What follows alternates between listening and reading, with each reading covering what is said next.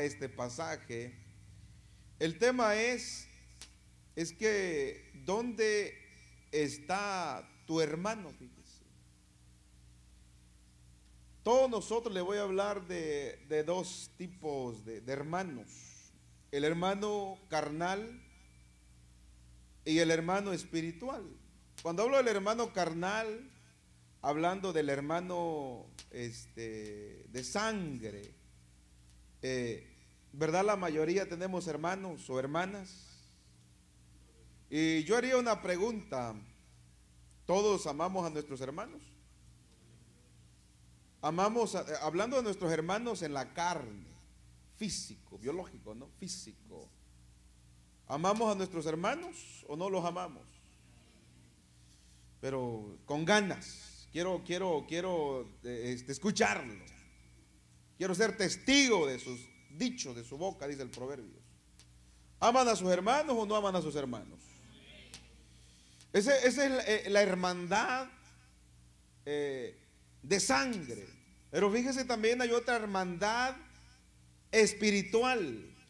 Y esa hermandad espiritual ya no, ya no lleva nuestros genes, sino que ahora hemos sido lavados con la sangre de Cristo, a través del derramamiento de la sangre de Cristo, hemos venido a ser familia. Amén, hermanos. Bueno, ahora, eh, lo que le hablaba de, de hermanos, del hermano biológico, hermano carnal, todos nosotros tenemos hermanos, ¿verdad? Y fíjese, fuera, fuera, o es curioso, que no es curioso, así es que como que nos aparecemos, hablando de los hermanos en la carne, tenemos rasgos de, tu hermana, ¿verdad? Rasgos de tu hermano. Eh, heredamos los genes de nuestros padres. Algunos tenían un lunar, el otro hijo lo sacó. O otros tenían este mal genio, el hijo también lo sacó. O sea, eh, si me, me va siguiendo por donde el Señor nos va llevando, ¿verdad?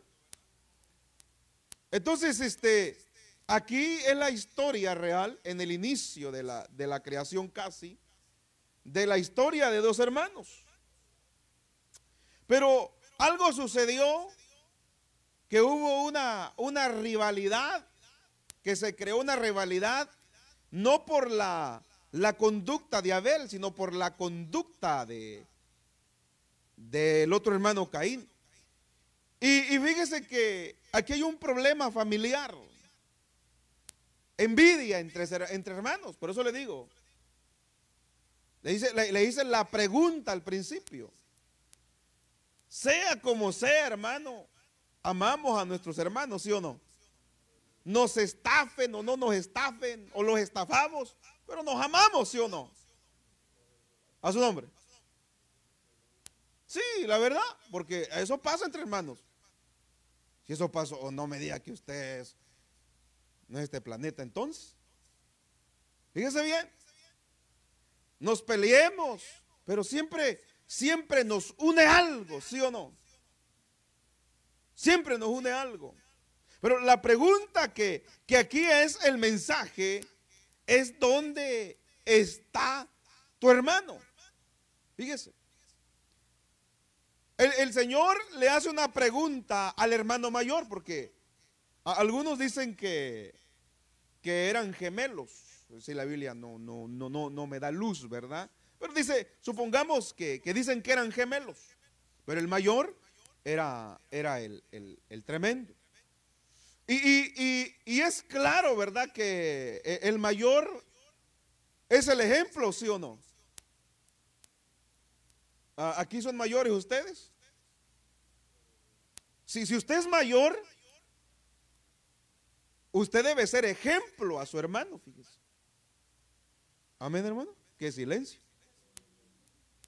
Usted, si alguien me está escuchando y es cristiano, claro, tiene que ser cristiano.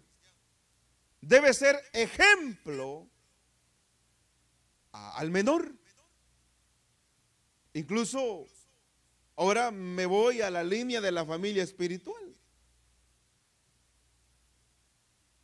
Eh, aquí hay gente que va iniciando en el cristianismo. ¿Quién debe ser el ejemplo? ¿El menor o el mayor?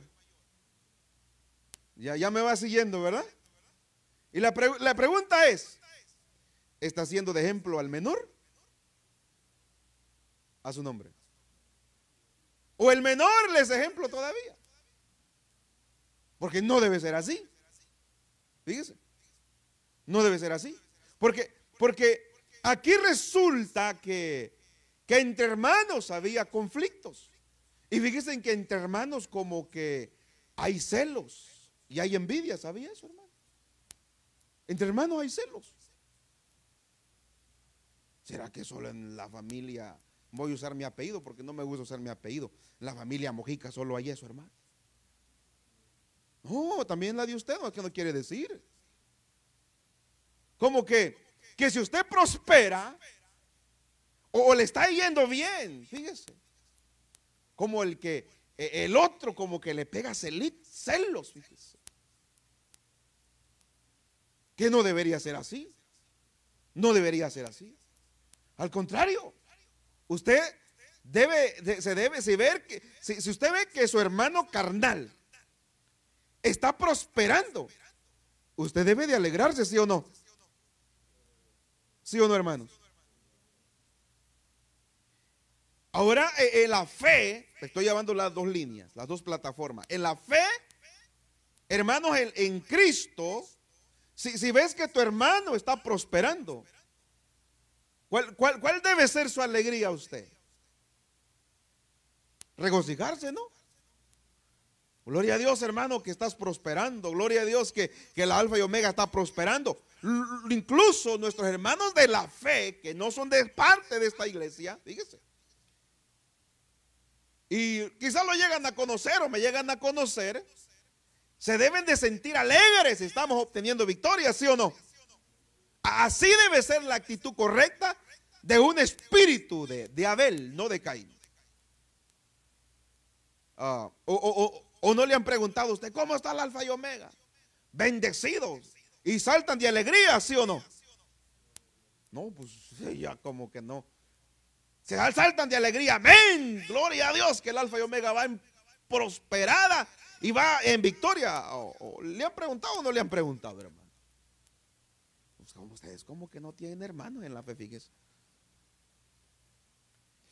Y, y esa persona que, que le pregunta, Usted dice, no hermano, vamos en victoria, porque el cristiano va en victoria, ¿sí o no? Va en victoria. Amén, hermano, estoy orando por ustedes. Adelante, siga, apoye, goce, se disfrute de la palabra de Dios, ¿sí o no? Así debe ser la actitud del espíritu de, de Abel. A lo contrario del espíritu de Caín. Porque, porque Caín no quería que que su hermano prosperara, que su hermano sobresaliera adelante, fíjese. Yo decía a Juan, amado, yo deseo que yo deseo que seas prosperado en todo. Así como prospera tu alma espiritualmente, tu vida, pero que también seas prosperado económicamente. ¿Se alegra por eso? ¿Usted se alegra cuando, cuando su hermana o su hermano es bendecido, sí o no? Cuando su pastor es bendecido, ¿sí o no? O, no dice, no, ya el pastor le está entrando los miles del negocio, ya cambió. Qué silencio. ¿Sí, sí, ¿Se alegra o no nos alegramos? Yo, yo me alegro, fíjese. Yo, yo, yo me alegro al verlo bendecido, al verla bendecida. Porque el espíritu de Abel es el que anhela agradar a Dios. Por eso dice aquí en el capítulo 4, versículo 9, y Jehová dijo a Caín, fíjese, una pregunta, ¿dónde está Abel, tu hermano? Fíjese, ¿dónde está Abel, tu hermano? Esa es la pregunta. ¿Dónde está tu hermano menor que usted invitó a la iglesia. ¿Dónde está aquel hermanito que se juntaba con él, ¿qué hizo? ¿Lo mató? Hablando espiritualmente o lo levantó. ¿Alguien puede alabar al Señor? Fíjese, aunque no crea, hay gente que ha matado espiritualmente. ¿Sabía eso? Por eso yo, meditaba en este pasaje, el Señor, porque el Señor que nos lleva. Amén. El Señor que nos lleva y, hace esta pregunta. Es que como eh, yo a veces con Osquitar, chichito bien humilde, sígase mi hijo, no pierda su humildad, ¿verdad? Porque eh, Osquitar va a la oficina, fíjese, y ahí me toca. Y yo le pregunto, ¿dónde está tu hermano? Y él me pregunta, ahí está. Fíjese. Ahora, la diferencia es de, Caín, de que cuando Dios le habla y le pregunta, Caín, le pregunto, hermano, ¿Dios sabía o no sabía? Sí, lo único que quería ver la actitud de Caín, cómo reaccionaba. Dios sabía. Sí, ah, mire, Dios, es Dios poderoso, es, omnisciente, omnipresente, donde quiera está, donde quiera que usted ande, Él está ahí. Él sabe todo, hermano, sabe todo. Todo lo sabe. ¿Qué hizo anoche? ¿Qué hizo ayer? ¿Qué hizo antes de venirse? ¿Qué habló antes de venirse? Él lo sabe todo. Pero fíjese, ahora, ¿cuál fue el problema? ¿Por qué hubo desacuerdo aquí entre hermanos? Para eso hay que leer desde el, versículo 1. Usted sabe que le decía como hermanos, este, sea como sean nuestros hermanos, los amamos, ¿sí o no? Y hasta le mandamos unas fichitas, dicen por ahí, ¿sí o no? Le mandamos un dinerito. Son todos nuestros hermanos. Pero el problema es, aquí lea el capítulo 4, versículo 1. Conoció Adán a su mujer. Vamos a ver la raíz del conflicto. Está ahí, ¿verdad? Eva, la cual concibió y dio a luz Caín y dijo, por voluntad de Jehová he adquirido varón. Después dio a luz, fíjese, a su hermano Abel. Y luego dice, y Abel fue pastor de ovejas. Y Caín fue labrador, ¿qué? Del campo, fíjese, dos. Por eso nuestros hermanos son diferentes, hermano, amén. Son muy diferentes, todos. Uno quiere ser chef, el otro quiere ser constructor, el otro quiere ser mesero, el otro quiere ser yardero. Son diferentes. Y luego dice el versículo 3, y aconteció, andando el tiempo que Caín trajo del fruto de la tierra, una ofrenda a Jehová, versículo 4. Y Abel trajo también de los primogénitos de sus ovejas y de lo más gordo de ellas. Y miró Jehová con, agrado a Abel y a su. Ahí empezó el conflicto entre hermanos. Ahí empezó. Porque el, el conflicto fue de que Abel se presentaba con ofrenda a Jehová y esa ofrenda fue agradable a, Dios. Y eso a Dios le agradó. A lo contrario de Caín, él también daba, pero no lo daba como debería de darlo. Es ahí donde empieza la rivalidad entre hermanos. Fíjese, hermano, fíjese que es tremendo la envidia, ¿sabía eso, hermano? usted conocerá, no aquí, por allá afuera, personas envidiosas. No, no conocerá una por ahí. Bueno, yo vivo en este planeta Tierra y conozco muchos por allá, no aquí, por allá. Sí, sí, que quieren verte destruido. Y no, y el problema es cuando, cuando, y lo voy a llevar a otro pasaje que no estaba en la lista. Vaya a Eclesiastes, por favor, Eclesiastes. Allá vemos que el conflicto fue eh, eh, la ofrenda de, Abel no fue eh, aceptada como, como, como Dios lo vio y, Dios da gracia, hermano. Y Dios le dio gracia al, hijo, a Abel, y, eso fue el conflicto de, de la envidia de ese hermano. Dice el versículo, capítulo 10 de Eclesiastés, Y, versículo, eh, este, vamos a ver, déjenme llegar ahí porque son, son versículos, ok, perdón, Dios, capítulo 5, capítulo 5, versículo este, 10, 5, 10. Mire, por, por este dichoso dinero, familias se han destruido, hermanos, ¿sabía eso? Fíjese, porque allá es el, allá vemos el conflicto, la envidia. Por eso, hermano, es la pregunta, ¿dónde está tu hermano? Dirá, aquí lo tengo al lado. Sí, sí, gloria a Dios, qué bueno. ¿Ya llegó ahí? Dice, 5.10 de Eclesiastes, dice, el que ama el dinero no se saciará qué? Ahí está. Mire hermano, el, dinero no es malo. Yo trabajo por el dinero. Porque por el dinero me pagan, ¿sí? me pagan con dinero. Si usted piensa que el dinero es el diablo, mire, démelo, yo me lo gasto. No, de veras, de veras. El problema es el amor a qué? Ese es el problema. Cuando ya usted de repente se empieza a... Le dijeron el trabajo, ¿sabes qué? Mire, Quédate tres horitas overtime, te la pagamos, te las pagan a 15 y aquí la pagan doble, te pagamos a 30. Hello. Ya dices, mire, 30 más 30, ayuda, yo no soy bueno para la matemática. 30 más 30 son 60, más otros 30, no, pues son 100 baros, hermano. Y yo quedé que a mi prima ya le iba a mandar por ser padrino de arete. Ahí voy a de una vez, el Señor me proveyó. Mire cómo meten a Dios ahí. ¿Verdad? Fíjese. Ahí es el problema cuando usted ya va, mirando más el dinero. Por eso dice ahí eh, que, que es verdad hay gente que no se sacia del dinero, hermano. Fíjese, no se sacia. Más tiene que, más quiere. Y, quiere un trabajo, de repente quiere tener hasta cinco trabajos, hermano. Y, si fuera posible tuviera seis, fíjese. Y dice, bueno, voy a la iglesia, como quiera y me duermo, hermano, ahí descanso.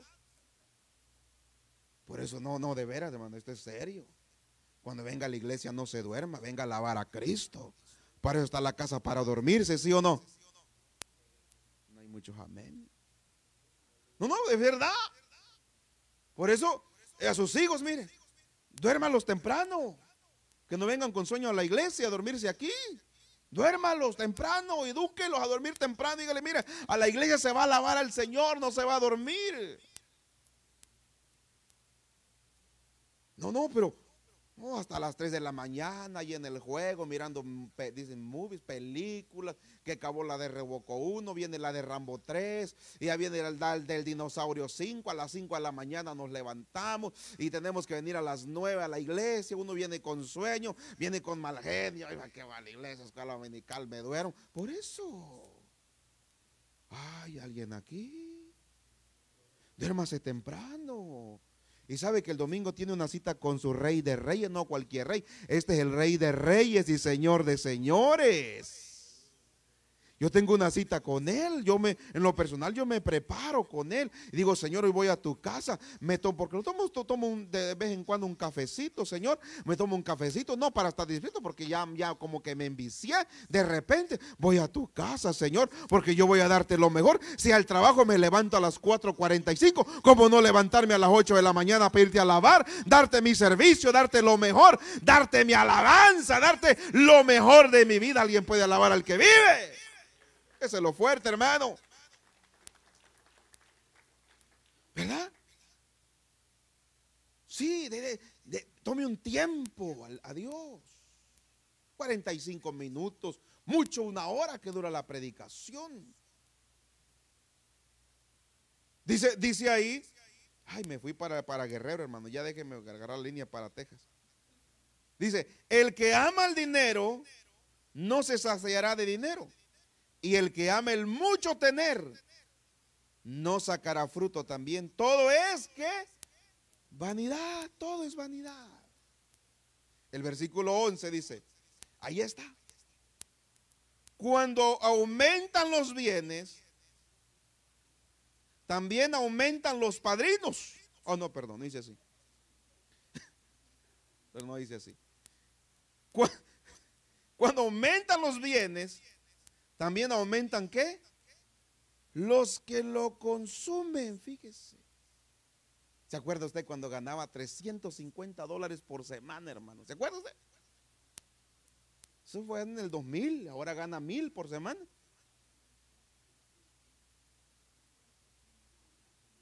A su nombre. Fíjese que, que, que, ¿se acuerda cuando usted ganaba 350? Mire, hermano, yo llegué a ganar 300 dólares a la quincena, fíjese. A la quincena. Y fíjese que me alcanzaba, hermano. Y tenía carro. Hay un carro que, andaba, pero tenía. Pero tenía. Fíjese. Y me alcanzaba. Le echaba gas. ahí donde vivía. Y le doy gracias a Dios por ese cuñado. Que me enseñó responsabilidad, fíjese. Porque, porque uno viene de nuestros países, fíjese. Allá le hacen todo, ¿verdad? Le hacen la mamá tortilla hechas a mano, a todo no le cobran renta, ¿sí o no? ¿Sí o no? Cuando llegas aquí, tú quieres seguir igual. No, aquí no es igual, aquí tienes que pagar renta. ¿Sí o no? Sí, fíjese. Aquí, aquí todo es. Entonces mi cuñado me dijo, mire, ¿quieres estudiar? ¿Te meto a la, escuela o quieres trabajar? Yo, no, pues yo quiero trabajar, vine a ganar feria, dinero. Dice, bueno, me dice, mire, aquí por comida por semana, por quincena, perdón, vas a pagar creo que 25, no comía mucho en ese tiempo. No, por eso me cobraba, no comía mucho. No, de verdad, no comía mucho. Unas tres tortillas. Y me dijo, y, el, aquí vas a pagar luz, vas a pagar ah, luz, agua, gas, yo qué sabía de eso, hermano. Y vas a pagar comida, y vas a pagar renta. Y, me hizo la cuenta, y vas a pagar teléfono. En, ese tiempo apenas empezaba el teléfono. Celular, pues el teléfono. Fíjese qué tremendo. ¿Por qué digo esto? Pues yo ni sé por qué lo estoy diciendo. Dirá que desorientado. No, no estoy desorientado. La palabra. Dice aquí que, que entonces cuando, cuando mi cuñado dije, me, me, enseñó eso, dije, no, este quiere el dinero, por eso digo, no estoy desorientado. Él, él quiere robarme dinero, fíjate lo que pensé yo. Pues como yo venía del rancho, de, allá de la sierra de Guerrero, no sierra, campo, allá mi mamá llegaba de, la primaria, de la secundaria, ahí tenía de comer. No tenía que trabajar yo. Tenía una bicicleta toda chueca, ahí me subía. No tenía que pagar nada. Ya llegando aquí, las cosas cambiaron. ¿Verdad, sí o no? No le pasó así a usted, hermano. Gloria a Dios por los que viven con su mamá y no les pagan y trabajan y no les cobran nada. ¿eh? Gloria a Dios, ¿va? Qué bueno hubiera sido, fíjese, que nosotros hubiera tocado así. Pero entonces dice aquí que cuando aumentan los bienes, también aumentan qué? Los que lo consumen. Le decía, ahora sí ya me viene a, recordar. ¿Se acuerda cuando usted ganaba unos 500, verdad? Le alcanzaba. Le alcanzaba. Y ahora gana mil y no le alcanza, hermano. ¿Por qué? ¿Será que Dios se equivoca al hablar eso? No es que mientras usted más gana dinero, más responsabilidades le salen. Por eso dice ahí, cuando aumentan los bienes, también aumentan los que los consumen. Qué bien pues tendrá su dueño sin verlos con sus ojos. Gana la feria y se te vacía. ¿Por qué? Porque te olvidaste, ¿qué? De tu criador.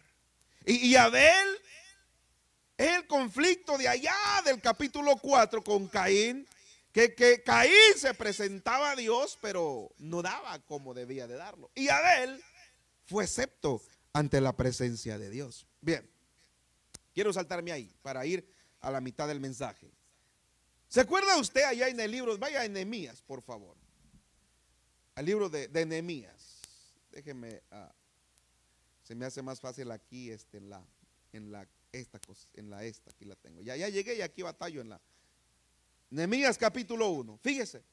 ¿Aman a sus hermanos o no aman a sus hermanos?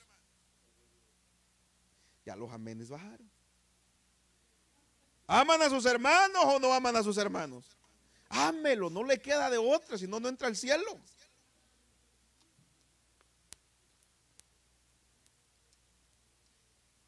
Fíjese que tenemos que amarnos. Yo le he dicho, tengo como 16 hermanitos y a todos los conozco, sé cómo son. Sé cómo son. Y entre nuestros hermanos nos, eso nos, amamos pues. Pero fíjese el capítulo 1 y versículo 2. Dice, llego ahí, ¿verdad? Ananí, uno de mis hermanos. Fíjese, el gran amor de Nemía por sus hermanos, fíjese. No eran de sangre, eran de nacionalidad. Fíjese bien. Ananí, uno de mis hermanos, vino a visitarme con algunos hombres que acababan de llegar de, de Judá. Les pregunté por los judíos en una versión dice, por mis hermanos. No sé, pero la reina, ah, la América, ¿cómo dice? ¿No dice hermanos? A ver, por favor, hija. A ver si, si esa dice, yo tengo, no, no. Aquí dice, por los judíos, pero en la versión me parece que dice, por mis, les pregunté, por mis hermanos.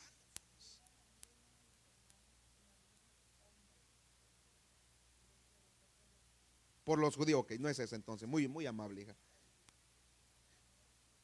Parece que era la nueva traducción. Pero bueno, dice, y le pregunté por los judíos. En otra versión dice, le pregunté por mis hermanos. Y fíjese, Nemía amaba a sus hermanos judíos. ¿Sabía eso? Los amaba. Y fíjese, cuando usted le preguntan, o usted pregunta por... Ah, se aman todos los hermanos. Yo amo a todos mis hermanos, fíjese.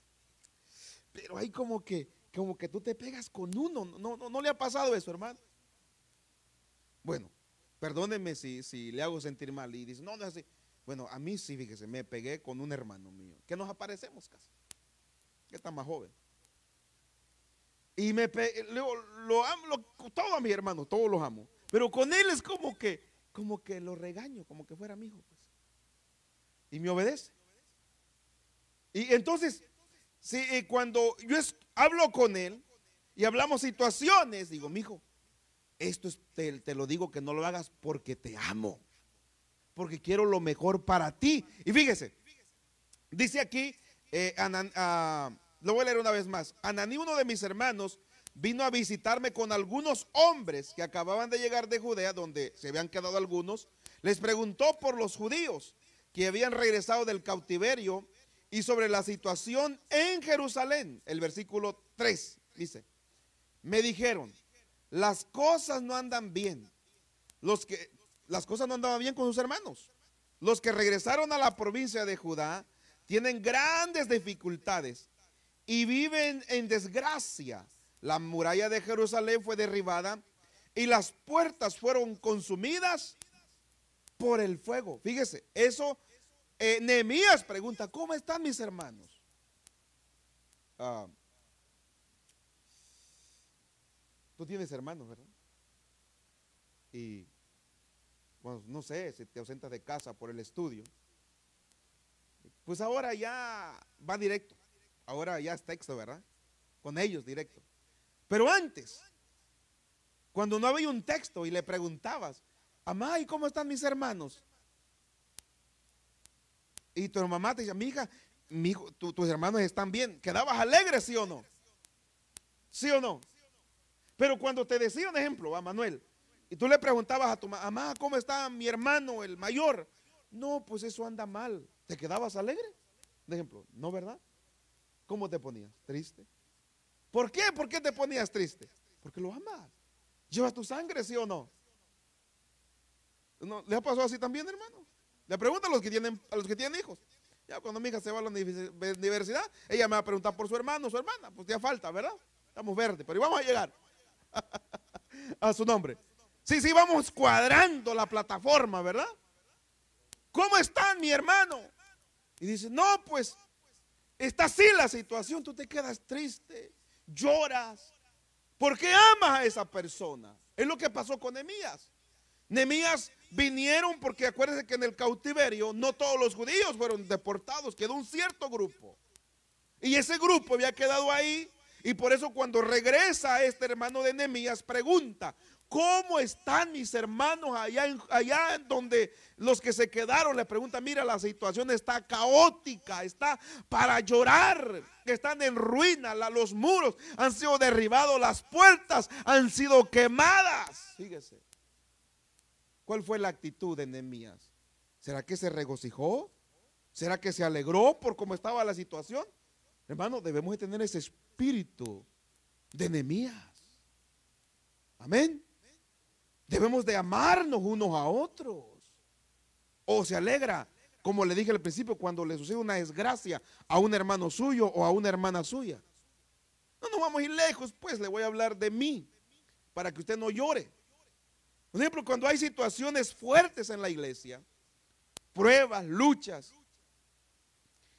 eh, ¿Cómo usted se siente? ¿Alegre? ¿Feliz? ¿O le duele? Si le duele es de los míos. Digo, de los míos de los que estamos hablando, pues. Me, me, va siguiendo, ¿verdad? Esa actitud, por eso el Señor le preguntó a Caín, Caín, ¿dónde está tu hermano? Y Caín dijo con prepotencia, ¿Y acaso yo soy la niñera de él? No, Caín. No eres la niñera, pero lo has matado. Fíjese. Entonces, el Señor nos lleva aquí de que debemos de sentir peso por el hermano carnal y por el hermano espiritual. Aleluya. Le pregunto, ¿ama a su hermano todavía? Ah, pastor, que usted no lo conoce. No, pues es que tienes que amarlo. El Señor no te está preguntando que lo conozca. Ámalo. A su nombre.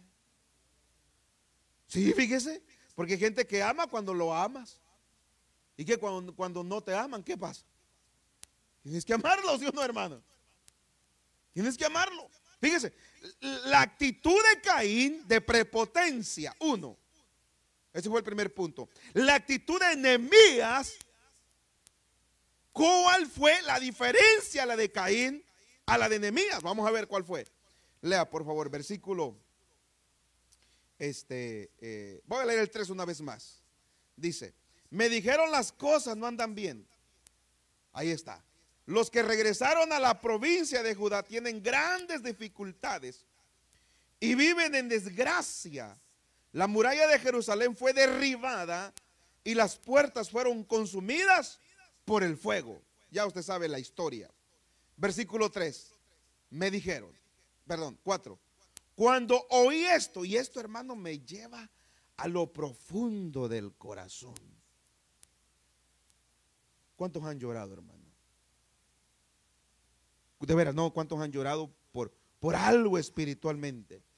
Que sientes una carga.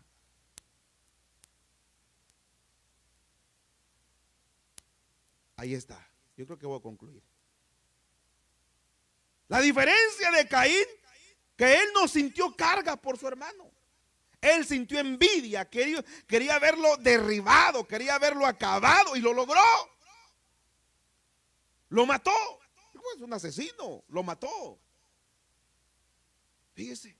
A la diferencia que el Señor nos dice, aprendan de Nehemías y cuando él preguntó por sus hermanos, los que estaban allá en Jerusalén, y le llevaron allá donde se habían quedado, y, este regresaron y preguntó él qué pasó con mis hermanos judíos. Y uno de sus hermanos le dijo, están en gran dificultad, están arruinados, están en desgracia. Él no se alegró. ¿Cuál fue la actitud de Nehemías? Léalo, por favor. Cuando oí esto que dice ahí, en su versión, yo lo estoy leyendo en esta versión. Cuando oí esto, me senté y ¿qué hizo? Y lloré. ¿Por qué lloró Nemías? ¿Por qué lloró, hermano? Por el mal estado de sus hermanos. No cuántos usted y yo hemos llorado por un hermano o por una hermana. ¿Ha sentido ese peso de su hermana? ¿De su hermano? ¿Lo ha sentido? ¿O se alegra cuando está en desgracia? Hello. Se alegra cuando ve a una hermana que está pasando por pruebas y dice usted se lo merecía, el tremendo, la tremenda. O va y llora la presencia de Dios y dice, Señor, levanta a mi pastor, levanta a mi hermano, levanta a este hermanito. ¿Cuál es la actitud? Un ejemplo, cuando hay, y, bueno, le estoy hablando de, de nosotros, ya le hablé de usted, cuando hay situaciones difíciles en la congregación, ¿cuál es su actitud? ¿La de Caín o la de Abel? ¿O la de Nehemías? Bueno, Abel no vimos la actitud, era una actitud buena. Era la, perdón, la de Nehemías. ¿Cuál es la actitud que tiene usted? Hágase, por eso el Señor nos dice, ¿dónde está tu hermano? ¿Cuál es su actitud? ¿La de matar? ¿La de destruir? ¿O la de compadecerse por aquel hermanito aquella hermanita? Yo creo que compadecerme, sí o no, hermano. Hemos venido para que el Señor nos hablara, amén o no amén. Y Él nos está hablando. ¿Le puede dar gloria al que vive? Gloria al que reina. Gloria al que vive a su nombre. Y mire qué, hizo, qué hizo Nehemías. Dice, cuando oí esto, me senté a llorar. Fíjese. No a llorar por, por un dolor, sino llorar por lo que estaban pasando sus hermanos. De hecho, dice, y no solo lloró, porque uno solo llora y no ora. Cuando oí esto me senté a llorar, de hecho, dice Nehemías, durante varios días estuve de duelo. Y luego dice, y me puse a ayunar y a orar al Dios del cielo. Note la diferencia de Nehemías a la de Caín. Muy diferente, ¿verdad? Ahora la pregunta es, ¿cuál debe ser mi actitud? Cuando el Señor me pregunte, ¿y tu hermano? Que un día fuiste a visitar, ¿qué le hablaste? ¿Lo mataste o lo animaste? Tu hermano que te juntabas con él o con ella, le diste un leñazo en la nuca, bueno, no sé si fue leñazo en la nuca, ¿verdad? O lo levantaste. ¿Qué hiciste por tu hermano? Alguien Dios nos estará hablando en esta noche. ¿Qué hiciste con aquel hermanito que lo invitaste a comer? Cuando con la plática que tuviste, ¿qué hiciste, pastor? Con ese hermano que lo invitaste a comer y ya no regresó por un comentario, por algo que le dijiste. Qué silencio, Padre amado. Gracias, Señor, por hablarme. Alguien puede decir aleluya. Dígate, ¿cómo el Señor nos habla? Por eso, oye, el, sábado buen, buen mensaje, todos los mensajes son buenos, pero mensajazos, hermana, que se trajo, no fue ni escatológico, sino de la lengua. Qué tremendo, ¿no? Fíjese que, dice allá Santiago, parece que es Santiago, dice que el barco, fíjese que el barco, es un barco, ¿conocen los barcos, no? Barcotes. Y tiene un timoncito y con ese barquito, con ese timoncito se toma el barco, ¿sí o no? ¿Quién es más grande, el barco o usted? El barco, entonces tú tienes que también ser domado. No le vamos a poner un timón, pero tiene el Espíritu Santo cuando hablar y no hablar, ¿sí o no? Qué bien, qué, qué bendición, fíjese que el Señor, bueno, yo, yo me estoy gozando, porque yo soy el primero que, me gozo cuando, cuando leo este pasaje y no, estoy pensando, este mensaje le queda al hermano. No, yo me gozo todo para mí y aquí suelta el Señor lo que le da y agarre lo que es suyo, ¿sí o no? Y lo que no dígale goodbye, see tomorrow o nunca. Sí, sí. Sí, dígale. Si eso es para usted, diga, Señor, gracias porque me estás hablando. Y no mira el que está a su lado, te están hablando. No, nos están hablando. Entonces dice ahí, cuando enemías, y esto me llega la, la, Por eso, hermano, mire, le voy a decir algo. No se, no se junte con alguien cuando alguien le está, le está yendo mal, supongamos. Y esa persona le está yendo mal y usted está, está escuchando que esa persona está y, y, está y se lo merece. Apártese, hermano. Porque está haciendo en la actitud de Caín. ¿Qué hizo Caín? ¿Lo mató? ¿Sabía eso? Y nosotros no estamos para matar, sino estamos para levantar alabados hacia el Señor. Mire, concluyo. Entonces, vaya a la última cita. Dejo ahí. Solo llévese esa la actitud de, de Nehemías.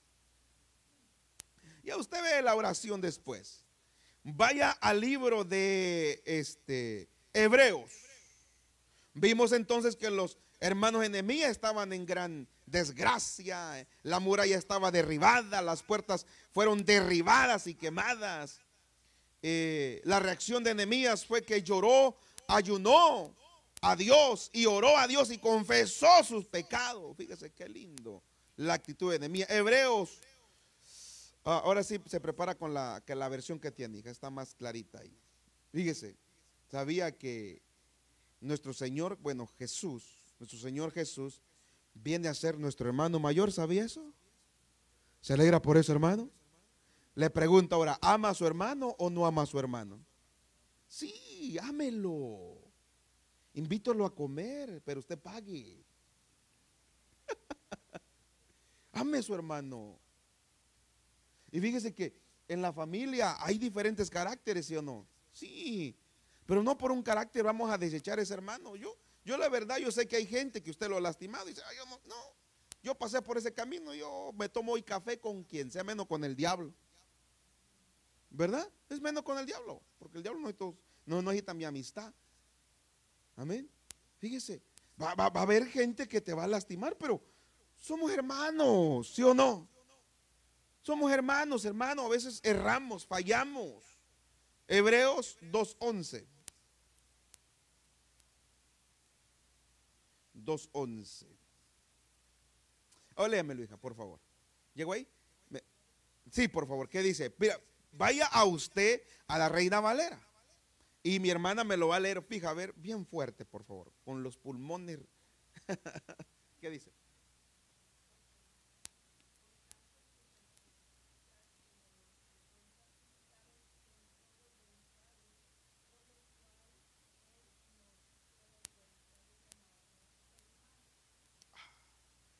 ¿Quién él? Jesucristo dice, yo no me avergüenzo de llamar hermano. Y está hablando de usted, y de usted, y de usted, y de usted. ¿Qué, qué gran ejemplo, ¿verdad, hermano? Fíjese, qué gran ejemplo de, de nuestro Señor Jesús, que nos llama hermanos. Y usted le pregunta, ¿es su hermano aquel? Es mi hermano, pero de lejos. Qué tremendo, ¿no? Qué tremendo, fíjese. Es mi hermano, pero de lejos. No, si el Señor dice, no se avergüenza porque nos conoce como somos, ¿sí o no? Pero dice, Ernesto es mi hermano. Ahora, Cristo es el, el hermano mayor. El ejemplo lo pone Cristo. Hermanos y hermanas, la pregunta es, ¿dónde está tu hermano? ¿Dónde está tu hermana? Ese ni quiero ni verlo, supiera lo que me hizo. El Señor no está preguntando, te está preguntando, ¿dónde está tu brother? ¿Dónde? Que si supieras, el Señor, el Señor no le preguntó a, a Caín cómo es Abel. Él le dijo, ¿dónde está tu hermano? ¿Dónde está? ¿Cuál es la conclusión de que somos hermanos en la fe. Y le da gracias al que vive. Y que nuestro hermano mayor dio su vida por nosotros en la cruz del Calvario sin importarle que éramos borrachos, marihuanos, éramos lo que la lacra del mundo. Él dijo, estos son mis hermanos y yo muero por ellos para darle vida y vida en abundancia y vida eterna. Esos son hermanos, hermanos que nos aman, alabados el Señor. Por eso he dicho, los hermanos mayores son ejemplos, ¿sí o no? Yo soy mayor de una tercera línea, me parece, de la mujer de mi papá. Hago bienes más de mí, yo soy mayor. Quiero ser ejemplo para ellos. Y ahí está, amiga, cuando vamos a, para allá, me dice, papi, ¿por qué mis hermanos te obedecen? Tú les hablas y te obedecen.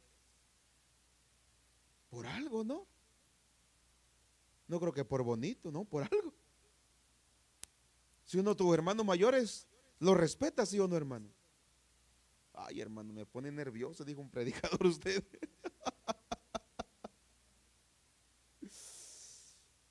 ¿Amamos a nuestros hermanos o no los amamos? Sí, los amamos. Ahora, si usted es mayor en la en, en, la en sangre, ese ejemplo. Ese ejemplo. Ese ejemplo. ¿Sí? Segundo, si es mayor espiritual, ese ejemplo al que va empezando. Porque el Señor te va a preguntar un día, ¿dónde está tu hermano? ¿Dónde está tu hermano? Póngase de pie. ¿Dónde está tu hermano? El Señor te va a preguntar. Y me va a preguntar a mí. Como hermanos, hay desacuerdo normal. Pero aún así nos amamos. Y nos queremos. Y nos apreciamos. Y más si hay un cumpleaños y nos invitan como hermanos, ahí vamos, ¿sí o no? Claro. Si, si, si toca día de culto, que se queden con el pastel, hay que nos parten un pedazo. Pero por mí yo tengo mi hermano mayor a que amo y respeto, que es nuestro Señor Jesucristo. Aleluya. Oh Señor Jesús. ¿Dónde está tu hermano? Aquel contestó con, con, con, con prepotencia. Contestó que a mí que me importa ese hermano. ¿Acaso soy, soy niñera de él? Y el Señor le dijo, Caín, lo has matado tu hermano. Y por haberlo matado, le dijo, te voy a poner una marca. Y vas a ser desterrado. Y nadie te va a tocar porque vas a llevar la marca de desgracia. Queda señalado. Fíjese, hermanos, ames hermano, con su hermano carnal. No, pero es que... Eh, yo entiendo, yo tengo hermano, entiendo. Su hermano en la fe, ámense. Respétense. Cuando alguien está pasando por pruebas, únase, ore por él. Dígale, hermano, hermano, le pasa algo, lo veo diferente. Dígame en qué puedo ayudarte. Porque el Señor te va a preguntar, ¿dónde está tu hermano? ¿Dónde está tu hermana? Oh si tan solo tocar el borde de su manto, levante sus manos al cielo.